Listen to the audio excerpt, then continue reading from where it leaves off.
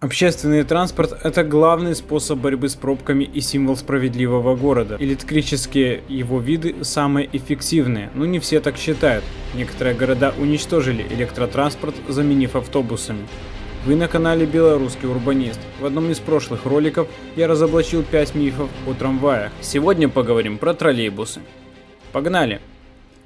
Троллейбус медленный. Глупое заблуждение. Электродвигатель имеет лучшие динамические характеристики в сравнении с двигателем внутреннего сгорания, а скорость разгона очень важна для городских маршрутов. Машине необходимо разогнаться после каждой остановки. Современные троллейбусы быстрее своих собратьев на ДВС. Троллейбусы нужно заменять электробусами. Это не так. Электробусы еще не обкатаны и только начали эксплуатироваться. Их содержание в разы дороже. Про количество поломок в сравнении с надежными и в разы более дешевыми троллейбусами лучше и не говорить. Электробус проигрывает в одни ворота.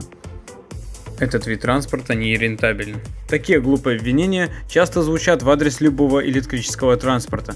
Коэффициент полезного действия электродвигателя в разы выше дизельного или бензинового собрата. В среднем расход на перевозку человека на троллейбусе в половину меньше, чем на автобусе. Сами троллейбусы имеют более длительный срок службы, и серьезное вложение в контактную сеть и подвижной состав окупается в течение нескольких лет. Уничтожение троллейбусной сети – это мировая практика. Наглая ложь. Авантюра московской мэрии по уничтожению троллейбуса – это плохой пример и полный бред. Да, в 20 веке и в США выпиливали троллейбус, ровно как и другие виды общественного транспорта. Сейчас же мир переживает электрический бум, и контактные сети – отличный актив как для расширения троллейбусного парка, так и для закупки электробусов с динамической подзарядкой.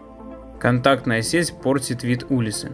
Не совсем так – есть множество примеров красивой интеграции проводов в уличную среду. Чаще всего улицу портит визуальный мусор, такой как растяжки, неконтролируемая реклама и так далее. Троллейбусный провод, как и трамвайный, отлично вписывается в городскую среду. Мир переживает транспортную революцию.